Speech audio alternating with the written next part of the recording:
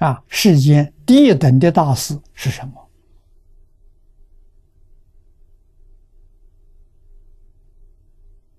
佛选择的，菩萨选择的，他选择什么？教学。你就是教学大了，大过做天王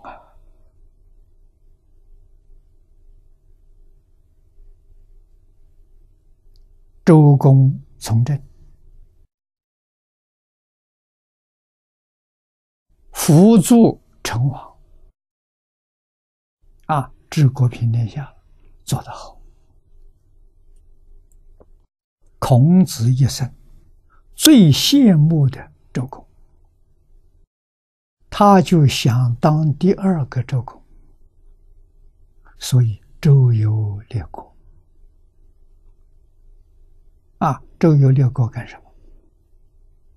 希望有一个国王能够任用他，请他去做宰相。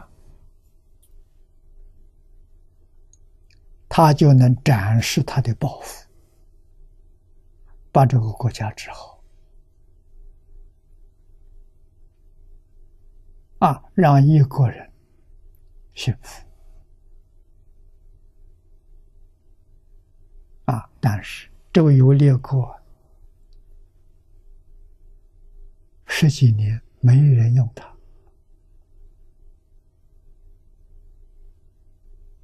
啊，六十八岁，老了，到退休年龄了，七十岁退休了，古时候，没指望了，回老家，回老家教学，七十三岁过世，只教了五年，你看，六八、六九、七十、七一、七二。七十三左右，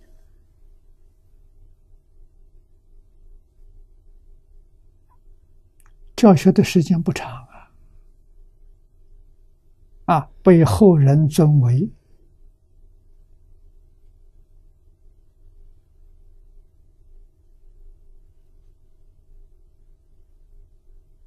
圣人，至圣先师，万世师表。如果孔子当年要知道这个，何必去周游列国？啊，他是三十岁学学有成，三十而立，跟释迦牟尼佛一样啊。三十岁就开始教学，要教到七十三岁过世。你说他的功德多大？释迦牟尼佛比他聪明。释迦牟尼佛是太子，现成的国王不做，啊，他去教学，啊，七十九岁过世，讲经教学四十九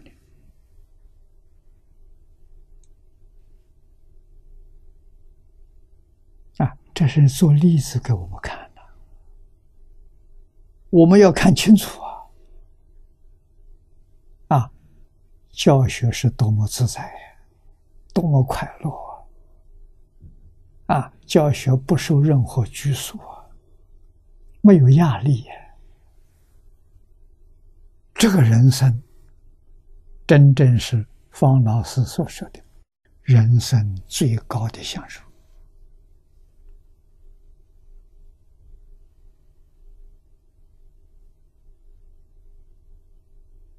啊！比帝王高啊，比帝王幸福啊，比帝王快乐啊，帝王有的佛不缺，孔子也不缺啊。你的学生多了，成就了啊，自然天天有人送供养，跟当皇帝差不多哎。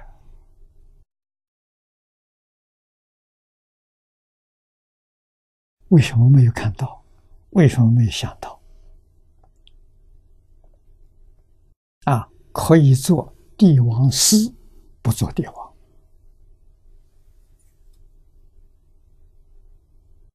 啊，你来请教，我可以教你怎样做个好的帝王。啊，做一个真正对国家民族、对世界人类有真正贡献的国王，